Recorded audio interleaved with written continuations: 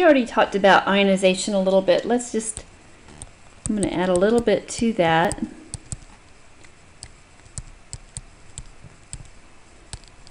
So when I put sodium chloride in water, it ionizes, it breaks into water. And notice that these say aqueous, it means that they are dissolved. In order for an ionic compound to dissolve, it has to ionize, it has to break apart into ions. I want to emphasize a few more things about the ions.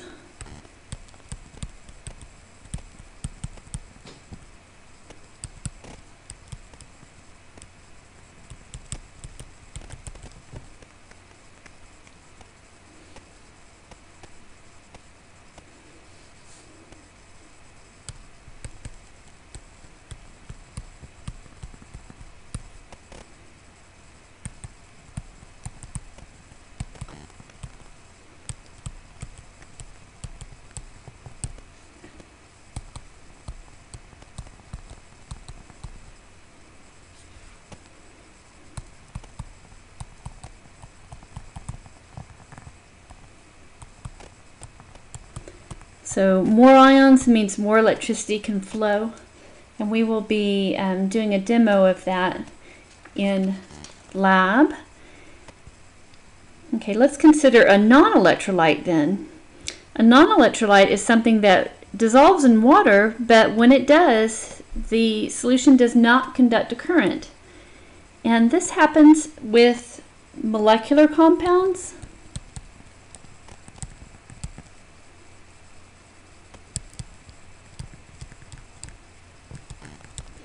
Remember, these are covalent compounds. These uh, do not ionize. And since they don't ionize, oops, ionize, since they don't ionize, they don't conduct a current. So here is, this is, maybe this is table sugar. There's more than one compound with that formula, but this looks like table sugar. If I put it in water, we know it dissolves in water very well. So it does dissolve, but there are no ions. So this is dissolved because it's aqueous, but there's no ions. So it's a non-electrolyte.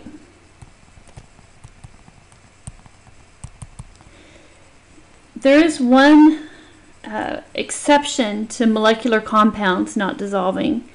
Compounds that are acids that have hydrogen in front.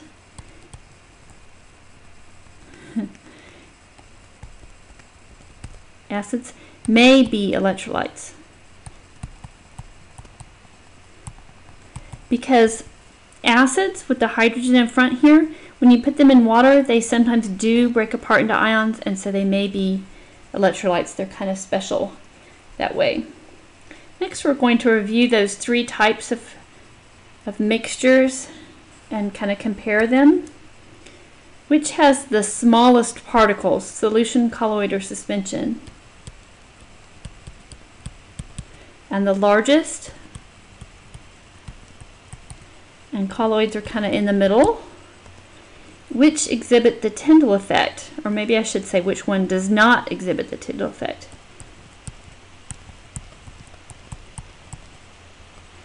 And which one, in which one do the particles settle out?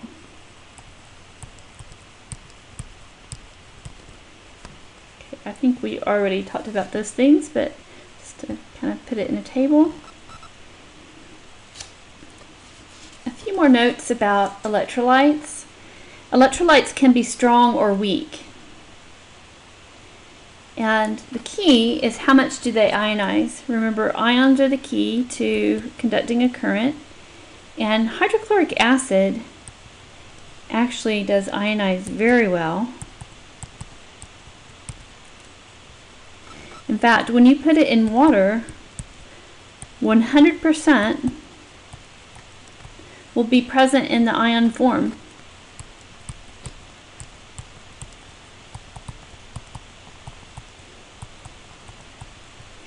And that's the key.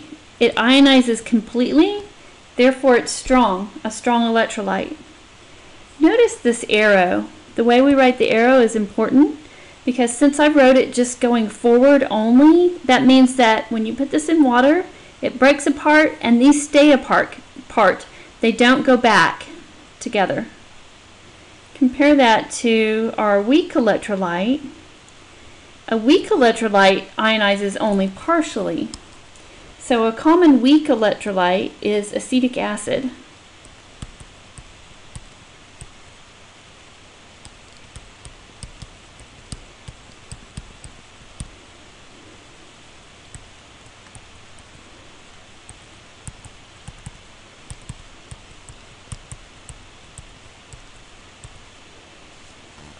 It ionizes only partially.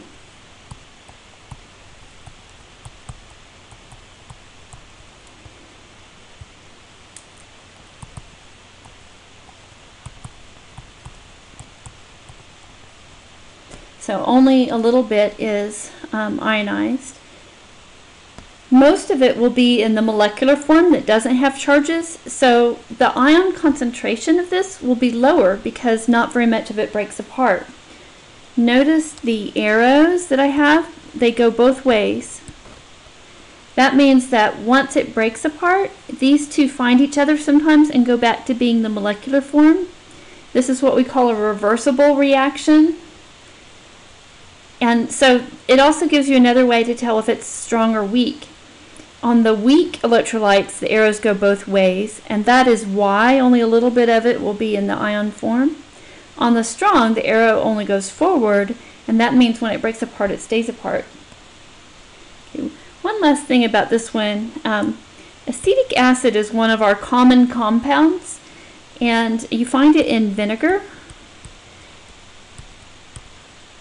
It's one of the common compounds that in the lecture part of the class I'd like my students to know. Um, so know that acetic acid comes from vinegar, and you might remember this ion this is acetate. It has a related name.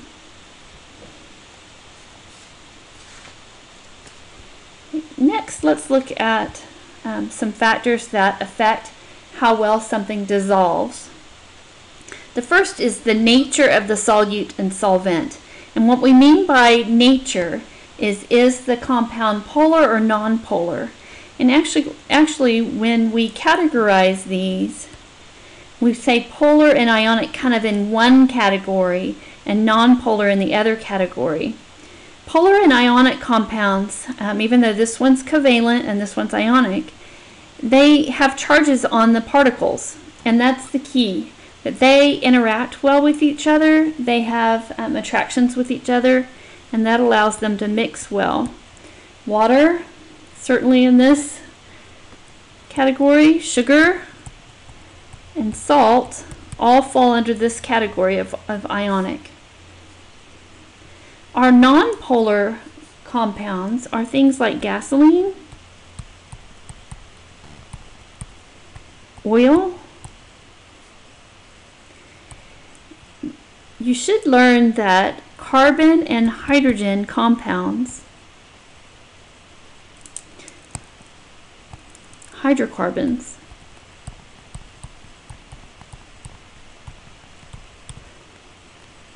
are nonpolar.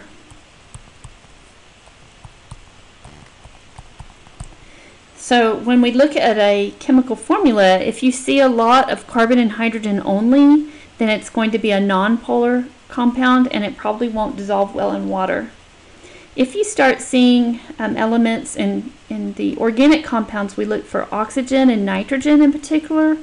Those two make the compounds more polar and so you'll tend to see those things, uh, compounds with oxygen and nitrogen, are often in this category. Okay, so the type of solvent affects solubility. If it matches the solute, it will dissolve. Oh, by the way, you may remember that, or we, you may be wondering, because usually if you want to dissolve some oil, yeah, you could get out some gasoline or top turpentine or something like that. But probably if you're trying to clean up oil, you'll use soap. And the way that soap works is that soap is such a big molecule that it has both a polar part and a nonpolar part. It has a like a polar end and then a big nonpolar part. And so it kind of brings these two together. It has a part of the water, part of the soap molecule interacts with water, part of the soap molecule um, interacts with the oil that you're trying to dissolve, and uh, so it, it helps you out there getting them together. We'll be making soap um, later in lab. It's kind of a fun one. We make lye soap. Okay, another factor um, in getting to dissolve is temperature. If you increase the temperature, that normally increases solubility.